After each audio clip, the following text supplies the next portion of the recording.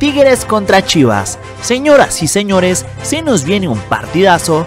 Finalmente es hoy, se llegó el día. En este video voy a darte los horarios y también te daré los canales en los cuales tú podrás disfrutar de este partidazo y además te diré dónde ver este partidazo entre el equipo de los Tigres y las Chivas.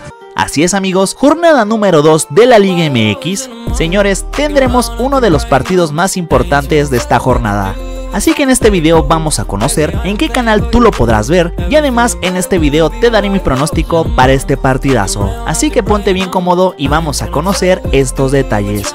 Este sábado 20 de enero, en punto de las 9 pm tiempo del México, el equipo de los Tigres reciben en cancha del Estadio Universitario a las Chivas Rayadas del Guadalajara en partido correspondiente a la jornada número 2 del Campeonato Mexicano de la Liga MX. Así es señores, y por un lado tenemos al equipo local, el equipo de Tigres, como recordaremos, viene de enfrentarse al equipo de León, venciéndolos fácilmente, ganándoles 2 a 1, mientras que el equipo de las Chivas, el Guadalajara, terminó por empatar, terminó por dividir puntos ante el equipo de Santos Laguna, quedando el marcador 1 a 1. En la tabla general encontramos al equipo de las Chivas en la posición número 11 con apenas un punto, mientras que el equipo de los Tigres se encuentran en la tercera posición con 3 unidades. Y yo creo que los Tigres vencen a las Chivas 2 goles a 1. Este es mi pronóstico para este partido.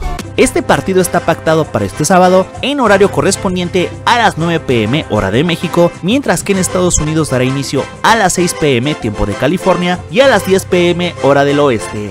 Ahora, ¿dónde puedes ver este partido? Tigres contra Chivas, este partido lo podrás ver por la señal de tu DN, también por el canal 5 de Televisa.